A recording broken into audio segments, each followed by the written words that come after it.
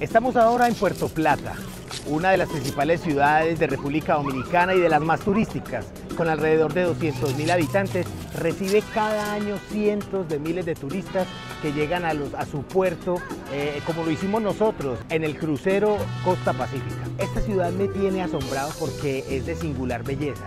Uno puede encontrar aquí un contraste de colores entre el verde, el blanco, el amarillo. Son eh, casas con estilo victoriano y se nota mucho la alegría de la gente. Usted los puede ver en las calles jugando dominó, tomándose sus cervezas.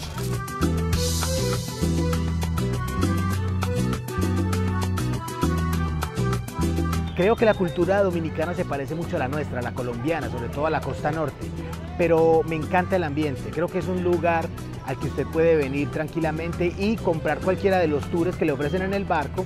Vale la pena hacer el recorrido, conocer a la gente local, que entre otras cosas es muy amable. Creo que este es uno de los lugares preferidos de los que yo creo que ya he visitado, vuelvo a visitar y me voy igual de contento, igual de tranquilo, igual de alegre por conocer esta ciudad.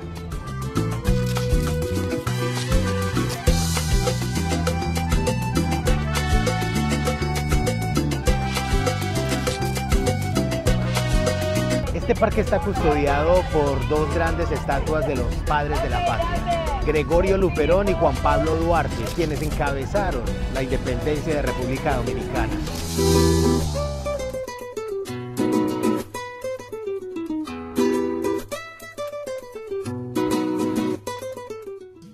Aquí ahora mismo las personas vienen a conocer el Callejón Rosado, la calle de la Sombrilla, eh, del Parque Central, eh, el teleférico, la playa de Long Beach, eh, Playa Dorada. ¿Cuántas personas recibe más o menos Puerto Plata en cuanto a cruceros? Porque vemos Bueno. acá unos cruceros que llegan permanentemente. Sí, ahora mismo, cuando vienen, por ejemplo, hoy llegaron dos cruceros. Este es uno de los más grandes del mundo que trae hasta 8 mil y 7 mil turistas para la calle. Aparte de la tripulación, que tiene una tripulación de 1.600, 1.700. Y la tripulación también sale, hay una parte de ellos que sale a, a conocer el pueblo, a divertirse un poco en, en- en cuanto a la travesía se refiere aquí en Puerto Plata. Muchos vienen buscando la comida típica nacional, ¿Y cuál es ese plato típico nacional? arroz, habichuela y carne. Arroz, habichuela y carne. Arroz, habichuela y carne. Bueno. El concón que le fascina a la gente, el mangú de plátano majado con, con salami, con espagueti. Hay, hay turistas que cuando lo ven dicen, wow, mangú con espagueti. Y cuando lo prueban se ponen locos, les fascina.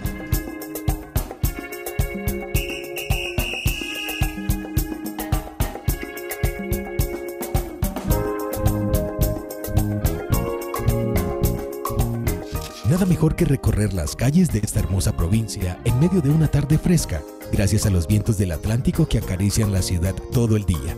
Una de las cosas que más me llama la atención son sus coloridas edificaciones características del Caribe, con una arquitectura victoriana, uno de los estilos de construcción que surgieron a mediados del siglo XIX en el reinado de Victoria I de Inglaterra, que mezcla diferentes estilos, sobre todo el gótico inglés.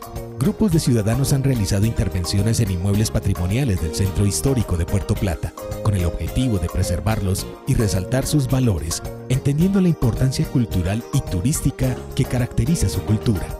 Le hago una invitación a todos los eh, televidentes y amigos del canal Viajando a la Carta, Puerto Plata, destinos turísticos. Los invitamos a que vengan acá y disfruten el turismo de Puerto Plata. Estamos para, con los brazos abiertos, recibiendo a todo el turista del mundo.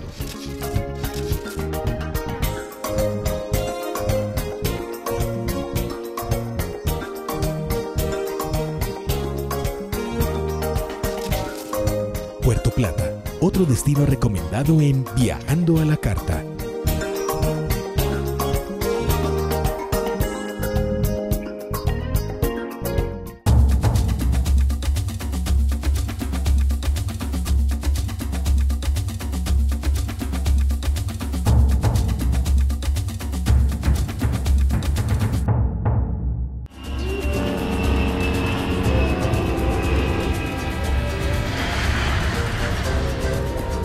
Viajando a la Carta.